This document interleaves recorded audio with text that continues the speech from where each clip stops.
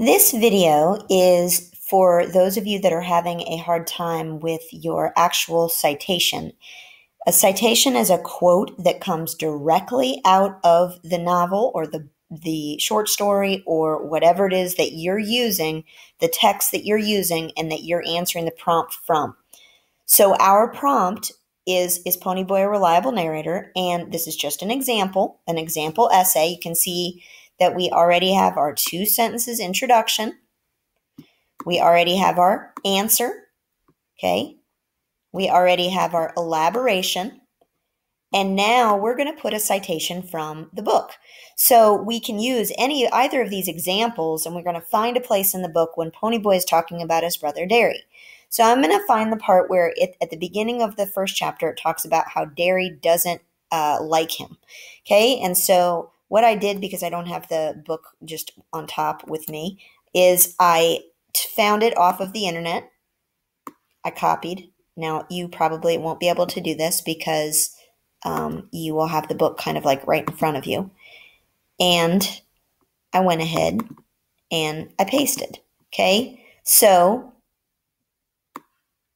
we're going to make that right. So I'm going to show you, here's our quote, and I'm going to show you how to make it um, I think it's 18. I don't know. Um, I'm going to show you how to make it correct. So here's our quote. Okay, we're going to put a quotation mark in the beginning. See where I did that? And then we're going to put a quotation mark at the end. But that's still not correct because we don't say where we got it. So if we don't say where we got it, it's plagiarism.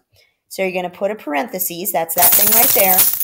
We're going to put the last name of our author, which is Hinton, and we are going to put the page number. And then we are going to put end parentheses, and there's our period right there. Okay, so there's your citation, but you're not finished yet because then you're going to have to elaborate some more. In this citation,